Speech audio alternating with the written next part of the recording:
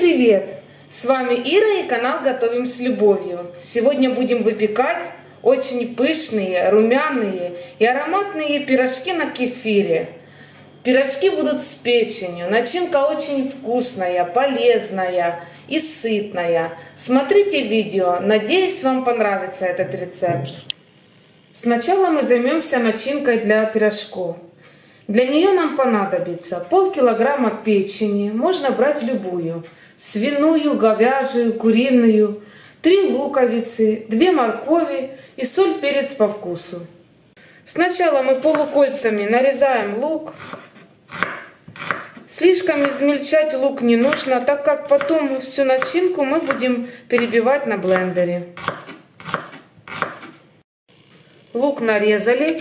Теперь натираем на крупной терке морковь. Морковь придаст нашей начинке нежность и сладость. Теперь осталось подготовить печень. Печень нарезаем небольшими кусочками.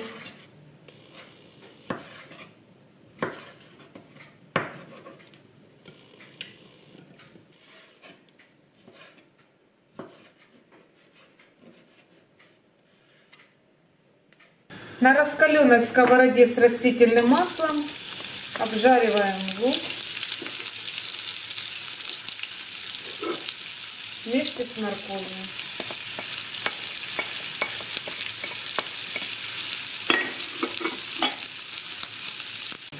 К моркови добавляем печень.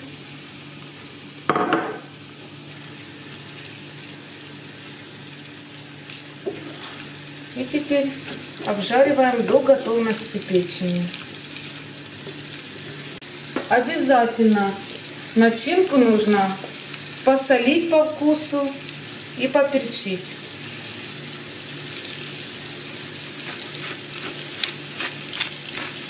Но главное не перестараться с солью, а то печень у нас будет горчить. И жарим до готовности. Теперь с помощью блендера мы измельчаем нашу начинку. Печень с морковью и луком это всегда очень вкусно. Я слишком не зажариваю печень. Она у меня мягкая и начинка получится нежная и вкусная. Начинку всегда готовлю заранее, ставлю ее в холодильник и уже в холодном виде использую в приготовлении пирожков. Вот такая начинка у нас будет у наших пышных пирожков. Для теста нам понадобятся следующие продукты. 100 мл теплого молока, 1 упаковка сухих дрожжей 11 грамм, 1 столовая ложка сахара, 300 мл теплого кефира 2%, 1 яйцо, 100 мл растительного рафинированного масла, 1 чайная ложка соли и 600 грамм муки. Для начинки мы будем использовать печень, которую мы заранее приготовили. Сейчас мы в миску выливаем 100 мл теплого молочка. Добавляем сюда одну столовую ложку сахара и одну упаковку сухих дрожжей. На 15 минут оставляем молоко с дрожжами. Пусть поднимется шапочка. Мы проверим качество дрожжей и будем замешивать тесто. Только молоко должно стоять в тепле. Теперь приступаем к замешиванию теста. Добавляем одну чайную ложку соли. Размешиваем. Добавляем 300 мл теплого кефира. Я брала двухпроцентный кефир.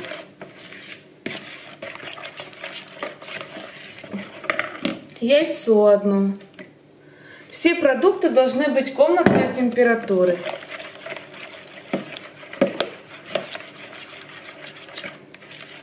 Ну и осталось у нас растительное масло и мука.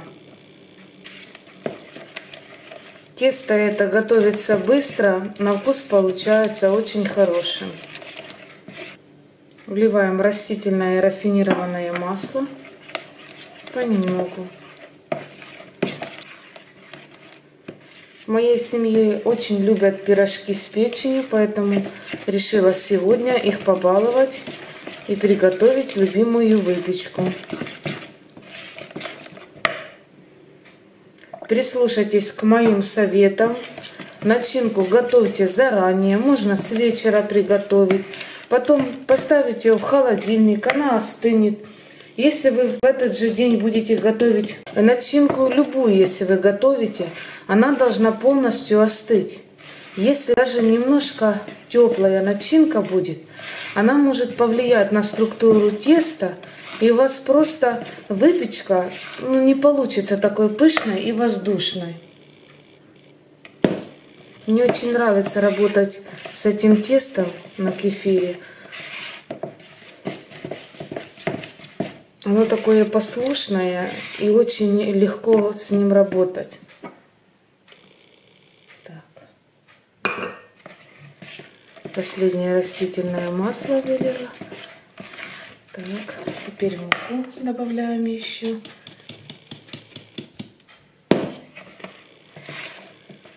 С этого теста можно делать и сладкие пирожки, и рулеты, и пироги.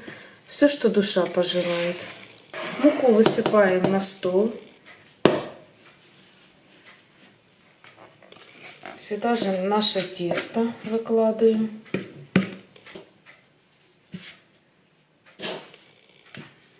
И замешиваем тесто.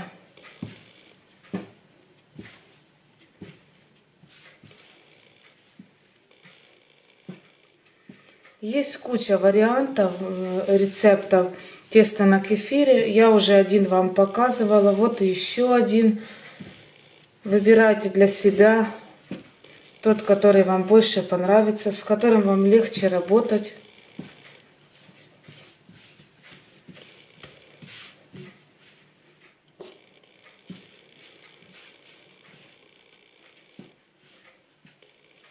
Руки слегка смочила растительным рафинированным маслом. Еще немножко подмесим тесто.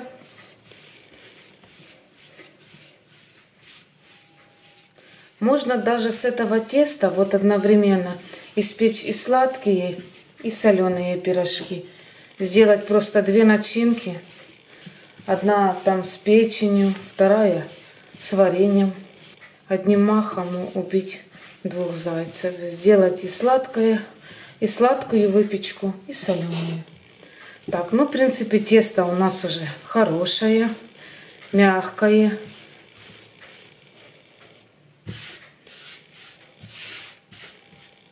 Выкладываем его на стол. На кухне должно быть тепло. Сверху накрываем полотенцем и оставляем наше тесто на полчаса. И потом начнем с ним работать. Смотрите, какое пышное, красивое тесто у нас через полчаса. Вообще отличное. Ручки я снова смазала растительным рафинированным маслом. Подсыпаем немножко мукой.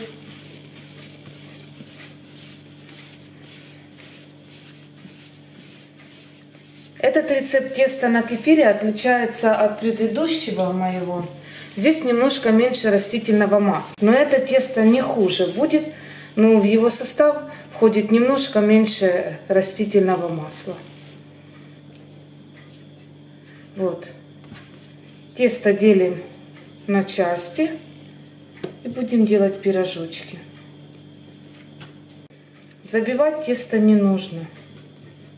Ручками расправляем каждый кусочек.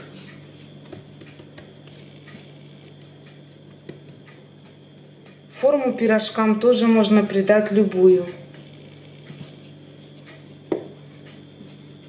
Количество муки я вам стараюсь указывать точное. Всегда измеряю на весах, поэтому претензий никаких не должно быть ко мне. Так, расправили. Теперь на каждый кусочек теста мы выкладываем начинку.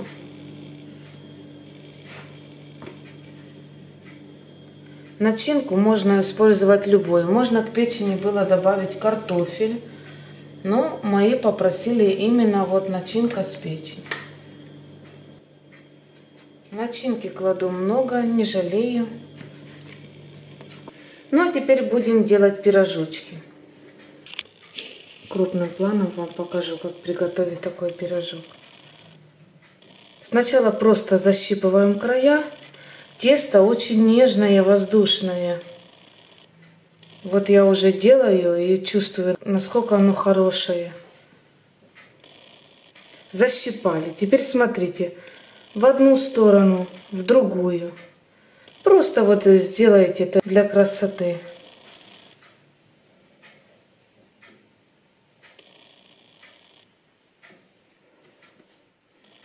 Такие пирожочки выкладываем на противень, застеленный пергаментной бумагой.